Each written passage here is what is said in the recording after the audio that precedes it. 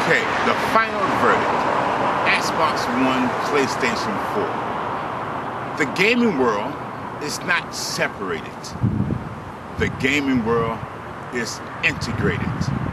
They are both great systems and have a lot to offer for the gaming community.